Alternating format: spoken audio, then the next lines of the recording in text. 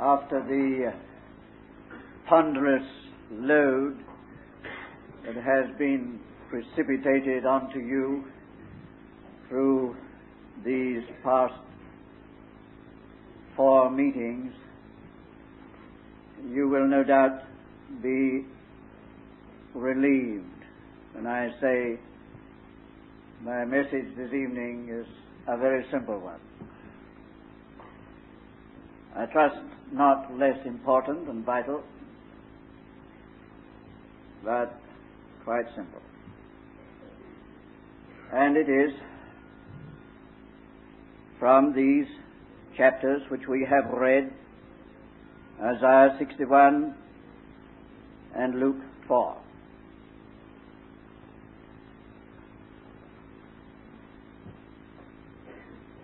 Before we can really come to the point to derive the real value and meaning of these chapters put together,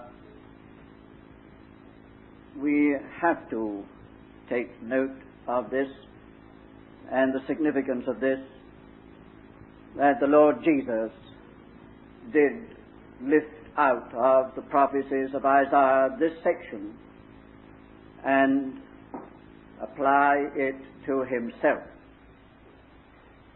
That is far more significant than it looks to be at a glance because of the historic setting of the words in the Old Testament, in the prophecies of Isaiah. Because undoubtedly these words in Isaiah's prophecies had a bearing upon or took their force from the situation which obtained at that time. It was what existed then that gave rise to and point to these words. The Spirit of the Lord is upon me because this and that, so and so. And that the Lord Jesus should have taken those words right out of that context,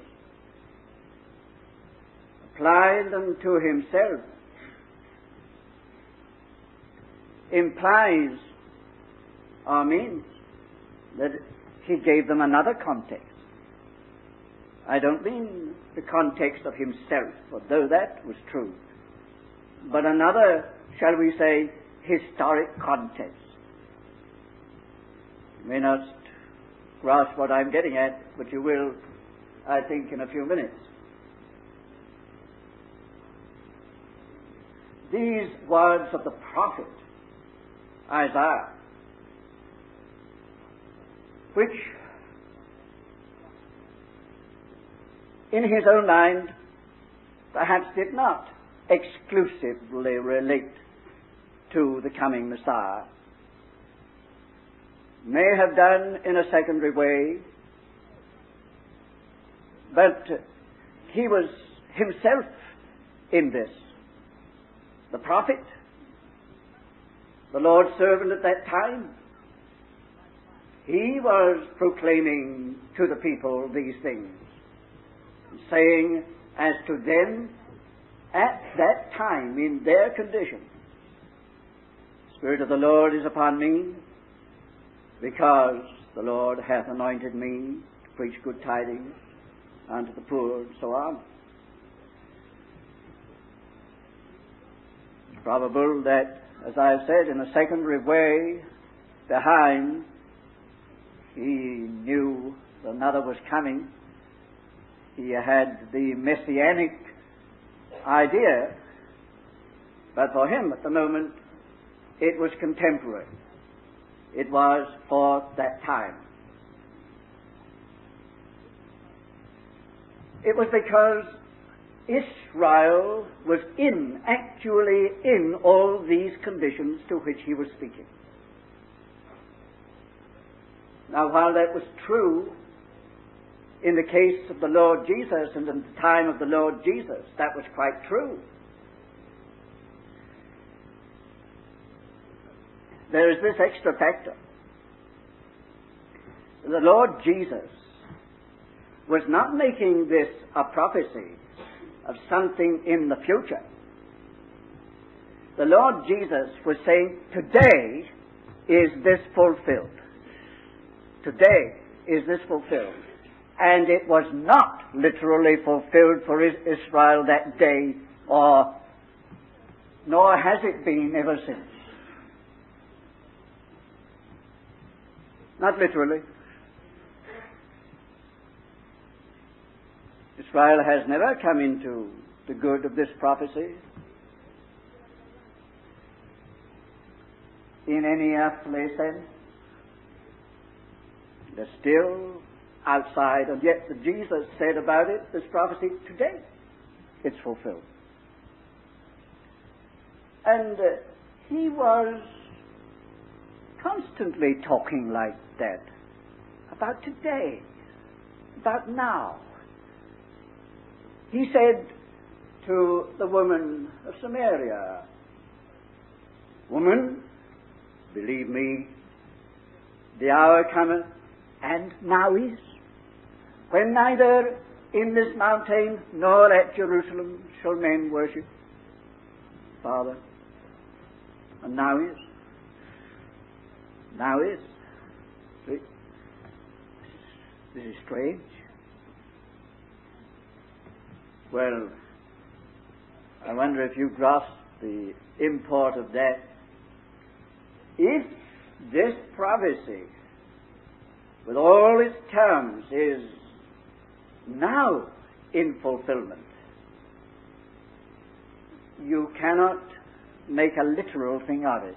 You've got to make a spiritual thing of it. It is fulfilled today but it's fulfilled in a spiritual way and not in a temporal way. That's the, the setting of the thing, and it's very impressive and very important to recognize that as you come to what the prophecy holds. Jesus took it to himself and said, Today. How today? How today? And that, of course, is the present interpretation of this. Now, there he was, standing in the synagogue in Nazareth, in the personal fulfillment of all the prophecies concerning the coming servant of Jehovah. All these prophecies were in course of fulfillment in himself. And he stood there as the servant of the Lord, prefigured by Isaiah. And what we have then here simply is the manifold ministry of the servant of the Lord. How manifold or many sided is this servanthood? Is this service to God and to man? When you have said that, you're ready to look at at least some of the aspects of this manifold servant ministry of the Lord Jesus. And then remember that it is transferred to the church to be his ministry in and through the church. That what is true of him in these respects is intended by the same anointing spirit to be true of the church, whether that be universal or local, the whole or the part. This is the manifold ministry which the anointing Spirit gives or desires to give and fulfill, not only in the Christ, but in and through the church. Well, now that may have sounded not so simple, but the rest is quite simple. The servant then is here presented to us in various ways. First of all, the servant as a preacher. Spirit of the Lord is upon me because the Lord hath anointed me to preach. The word really is herald. The Lord hath anointed me to herald, to make a proclamation. Full force of what is, what is here is that to make a proclamation. And then you go on to see what it is, what is contained in the proclamation, you find that there are three things. First of all, a proclamation of good news to the poor. Good news. Word gospel in the New Testament is just that, as you know. To herald, proclaim, preach, tell forth, announce good news to the poor.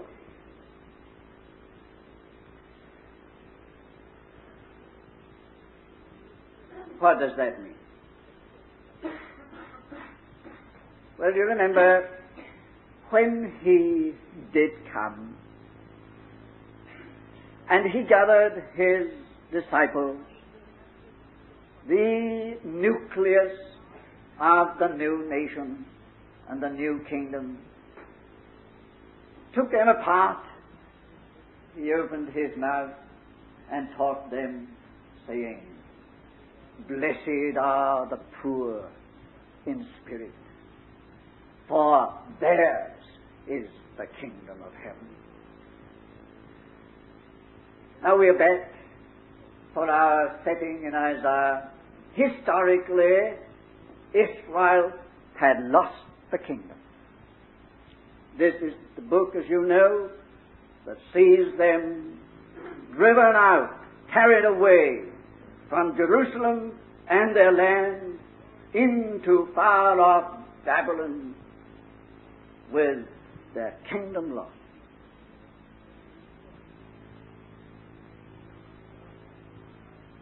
A people without a kingdom.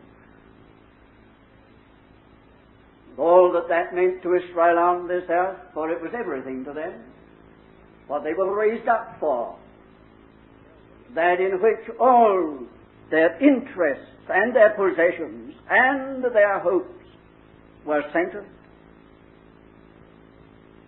The kings have been slain or taken captive. Their kingdom is gone.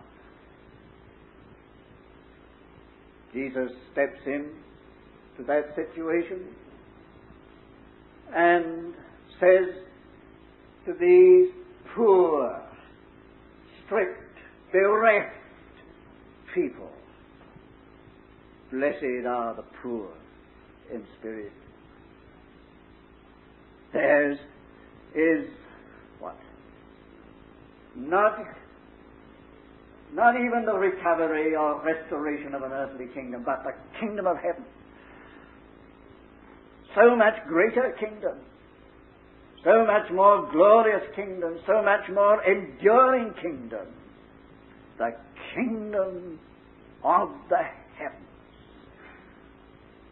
That's good news.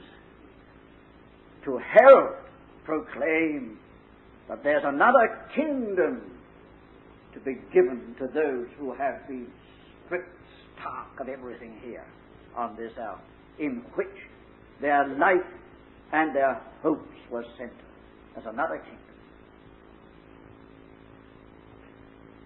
Spirit hath anointed me to say that. To say that.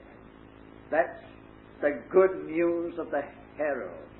It is the good news of a kingdom offered far transcending the highest glory and the fullest wealth of the old earthly kingdom of Israel. You probably know how much these Gospels in the New Testament have about the kingdom of heaven. You might say that in one sense they are mainly about the kingdom of heaven. It's offered to those who have lost everything here of this world kingdom. Second thing that the herald announces or proclaims is the year of Jubilee. That is not stated in those words exactly, but to anyone who cares to look into it, they will find that that is what is in the thought and what lies behind the words here. It's the uh, year of grace, here translated, the acceptable year of the Lord. It's the year of grace of the Lord.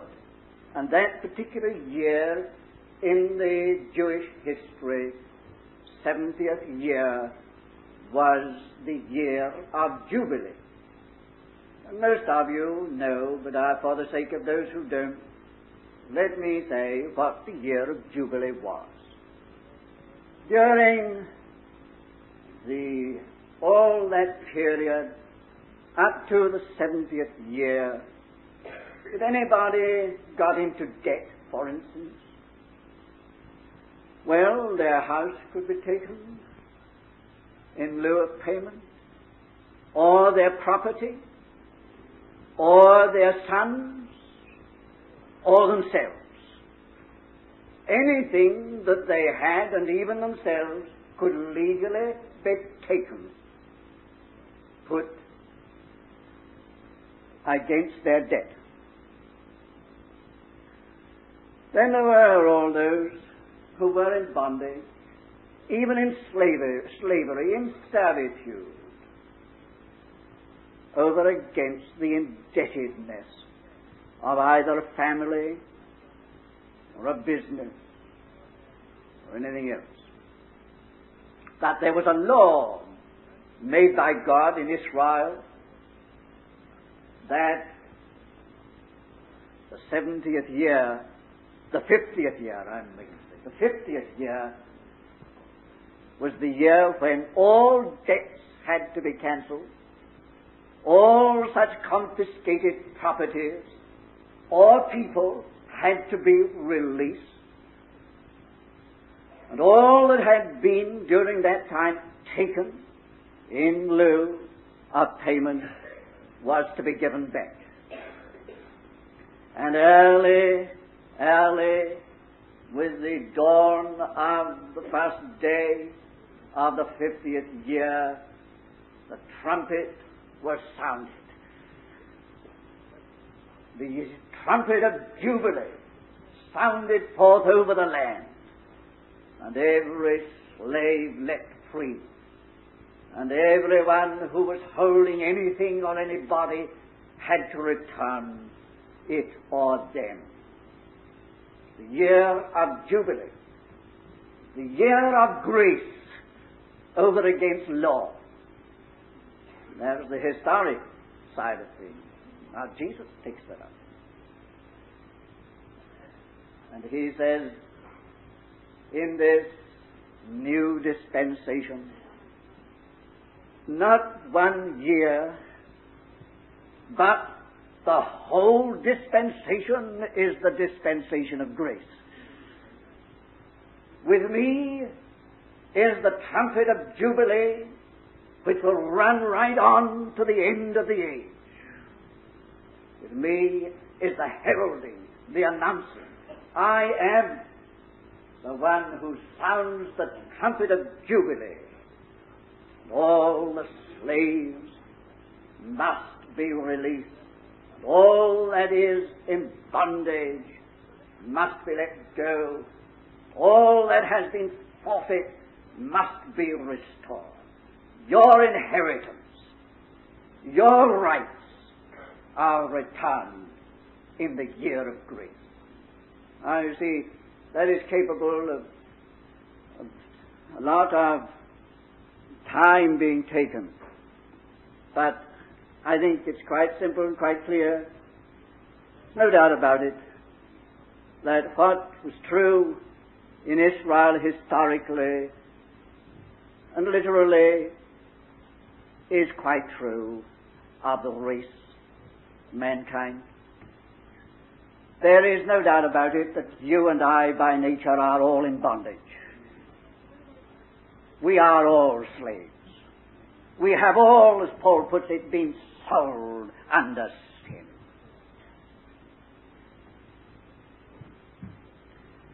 And we have lost our inheritance. Adam forfeited our inheritance. We lost everything that God meant us to have by Adam's sin. We've lost it all.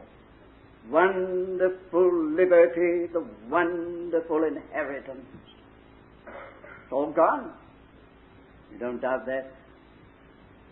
And we are in a state of lost good and spiritual bondage.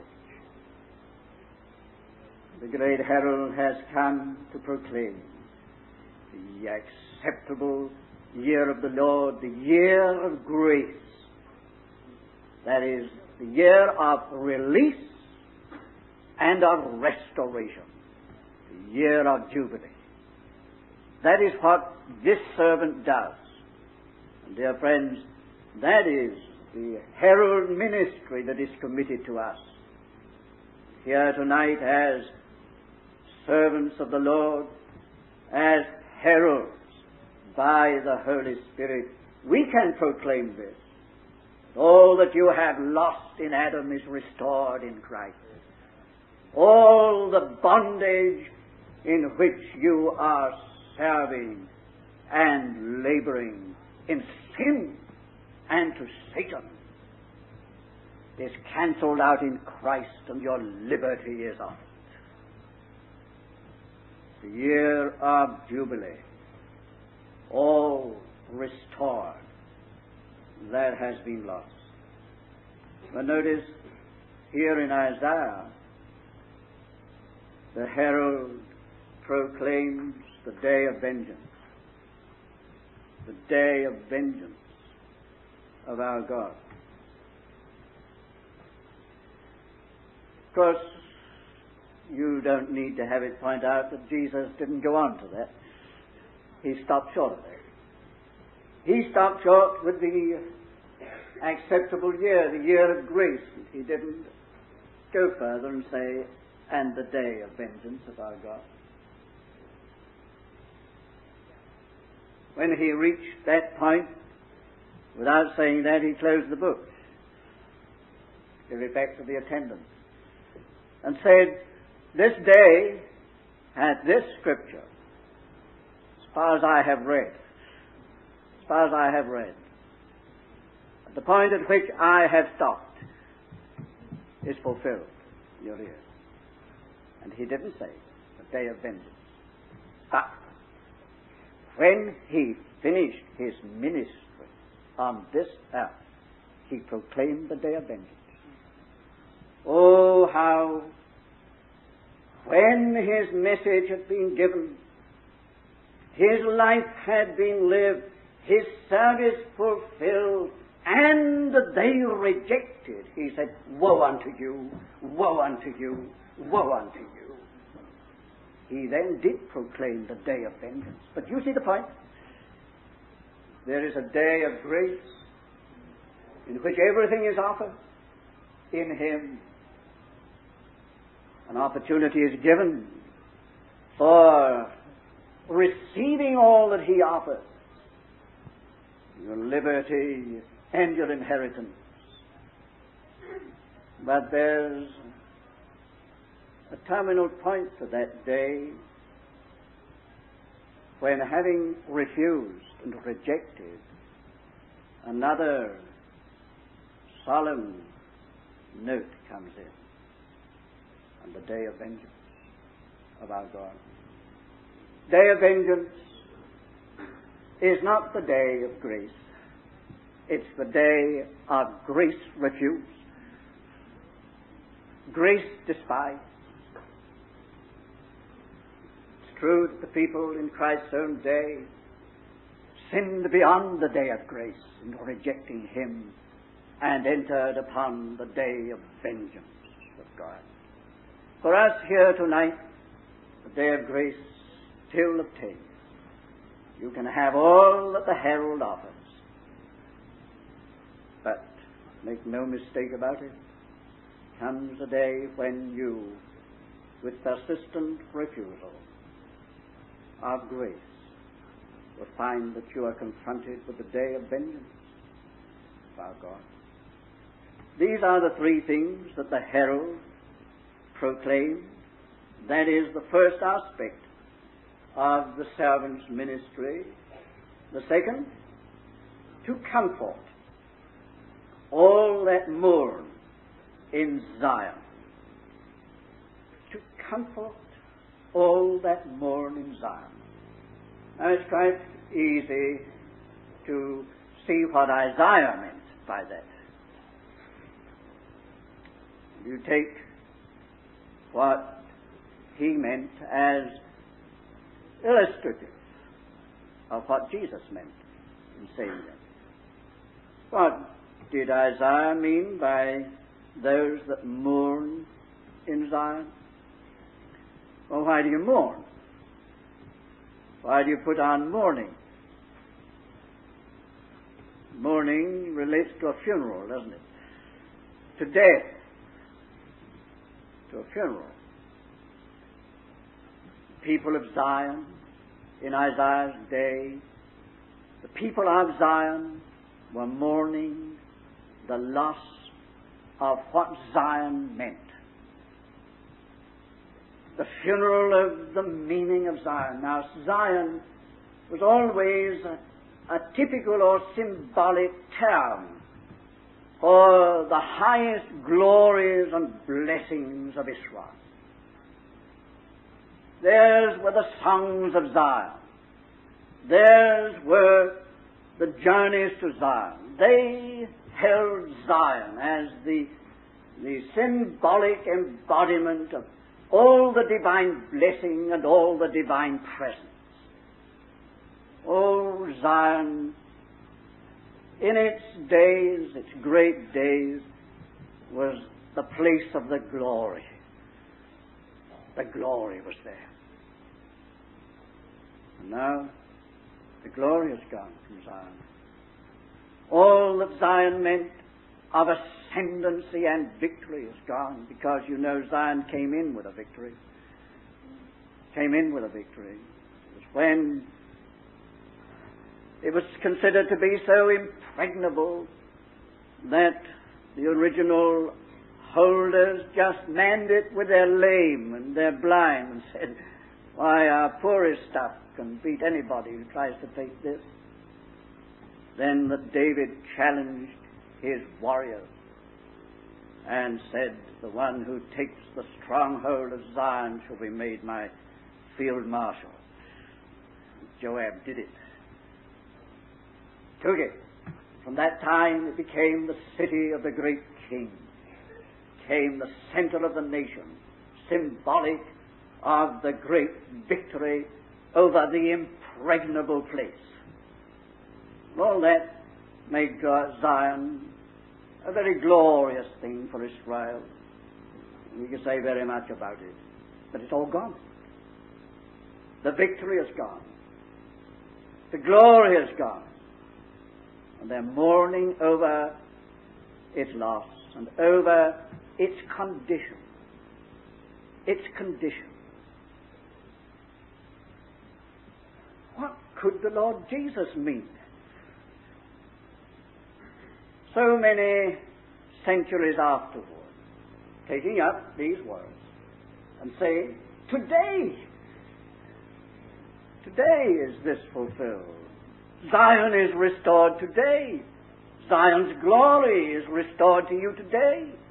All that is offered to you back again today.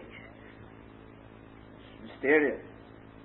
Well, of course, our letter to the Hebrews gives us the answer. Ye are not come to Mount Zion, but ye are come to Zion, city of the living God, the heavenly Jerusalem.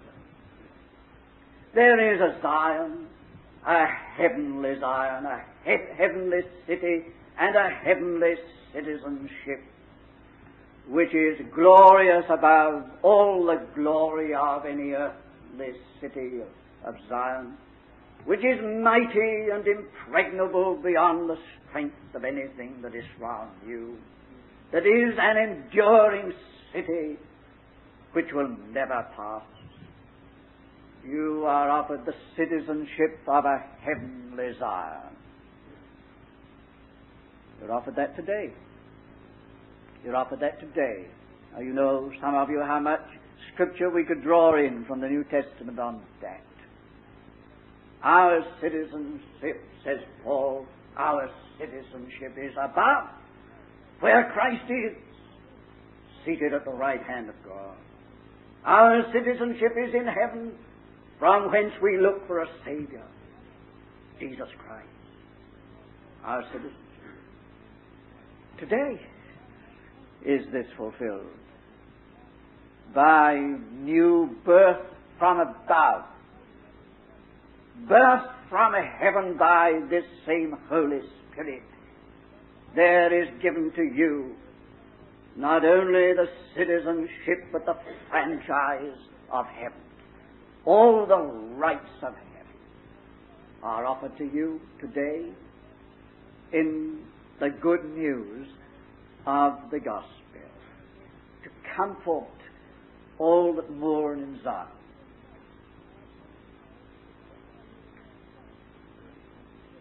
Is that a comfort to you? Well, I, I, think some of us at least do rejoice that our names are written in heaven, that they are in the Lamb's book of life, that we are born from above. Whatever we have or do not have here in this world, we've got an eternal and we belong to the New Jerusalem. And it means a lot to us to have our citizenship in heaven and our names written there. Well, I said it's simple. It's the simple message of the gospel. Thirdly, the servant is presented in the capacity of a liberator. A herald, a comforter, a liberator.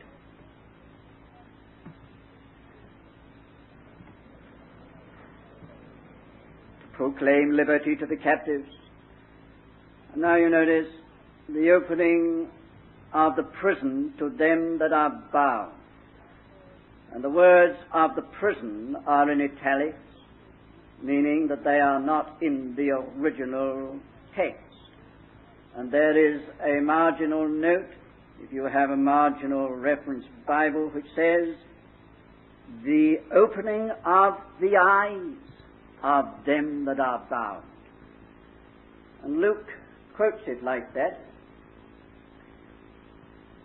It's not clear and apparent in this translation, but in the original languages, both the Hebrew and the Greek, it is quite clear that this relates to eyes. This kind of captivity is a different one from that of the slave of whom we've been speaking.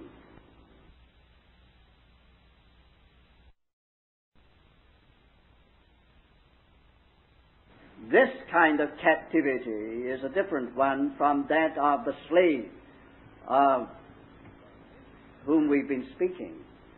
What is here being referred to and spoken about is a captivity of blindness. Captivity of blindness. Now, we this afternoon were back in chapter 6, and the prophet's commission was close their eyes. Close their eyes. That's a judgment. Lest, seeing, they perceive. This judgment of blindness has come. Paul says the God of this age hath blinded the minds of the unbelieving. This is a captivity, a captivity of darkness, a captivity of blindness, a captivity of the closed eyes. It is a captivity where they cannot see. They cannot see. You remember in John Bunyan's Holy War that uh,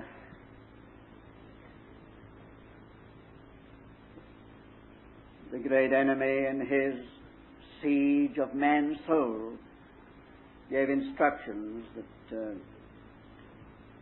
the, the burgomaster of the city, Mr. Understanding, should be put in a dark dungeon where he could not see what was going on. Having the understanding darkened is the scripture. If you have no sight, no understanding, you're not able to see the Lord. It's a terrible prison to be in. The commission to the Apostle Paul and his conversion was, To whom I send thee, to open their eyes, that they may turn from darkness to light, from the power of Satan unto God. The two things go together. From darkness to light, and from the power of Satan unto God, that they may receive an inheritance. The inheritance is the inheritance of people who have had their eyes open and who have escaped the toils of the one who blinds the understanding. Well, this ministry of the servant is a liberation from this blindness and darkness. And in another part of Isaiah's prophecies about the coming of the Lord Jesus, he puts it this way the people that sat in darkness have seen a great light. People that sat in darkness have seen a great light. How true that was of the Lord Jesus. And here we are tonight in the good of that. We've seen the light. We've seen a great light. He has opened our blind eyes, and what a new world we've come into and to possess. Like that. Dear friends, the Lord Jesus, as the servant, truly did this. And he said, Today, today, is this scripture fulfilled? And there were those who got their eyes open when he was here, and he's been doing it ever since. But this ministry is transferred to his church. Oh, sadly, we have to say that the church has not done it too well. That there is not the ministry of eye opening and revelation that there could be or should be. One of the effects of an anointed people is that other people come into the light and see. They see. They leap out of their imprisonment of darkness and are able to see. I see. I see. Well, let us come to the end. The servant is the great transformer. Here it is to give unto them a garland for ashes, the oil of joy for mourning, garment of praise for the spirit of heaviness. What a change in situation, condition, and outlook Why, we could stay long on these things. But there it is. We simply sum it all up in this one word the transformation. The word itself carries its own meaning. Passing from one form to another. Transform. Here's the one form. Mourning, heaviness, and no song, no joy. That's one condition. Is the other the oil of joy for mourning. The garment of praise, a song for the spirit of heaviness.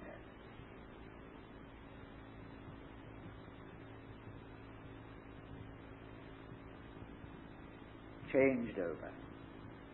Well, it's true, the gospel. True of what the Lord Jesus has done and is doing, making this great transformation in lives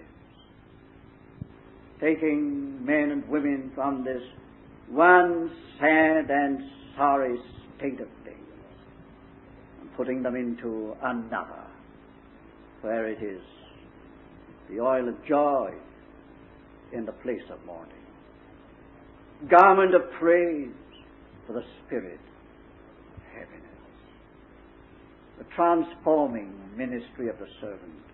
And that is committed to us. Well, that's the message. Again, behold my servant. You want to know what servanthood is and what real service is? Well, that's it. Look at him, and that's it. May the Lord do two things. Amongst us, bring those who are not in the good of this good news into it bring you into the values of this great servanthood of the Lord Jesus.